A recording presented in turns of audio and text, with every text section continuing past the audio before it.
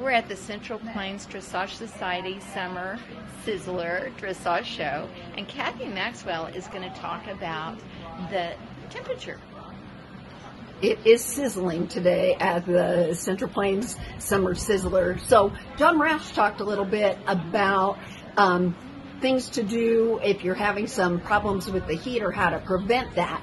And I'm a former nurse, and so Robin asked me to talk a little bit about when you're at a show or when you're riding at home, things to look for that if you're having some problems, you get into problems with heat exhaustion. So I'm going to just review a few things that John talked about. Your best bet is to front load, so make sure that you are hydrating and hydrating at home beforehand.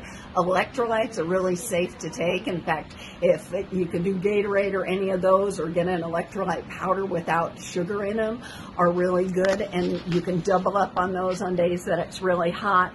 But get, getting front loaded on your water intake and trying to get the best sleep before a show, which I know isn't always practical, but to try to get the best rest that you can.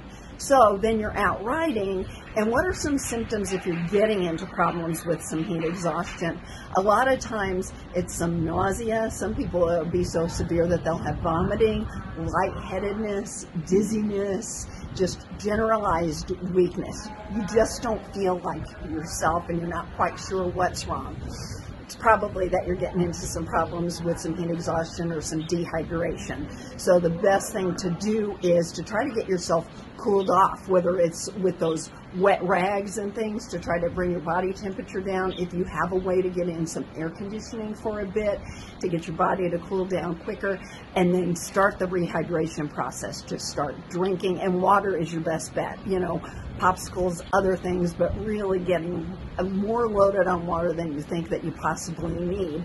Um, are going to be the best things. If you're kind of in a crisis with it, you got to get off your horse and you want to get down and you actually will kind of get your head um, down to try to get your circulation going back again and just to, to bring that back.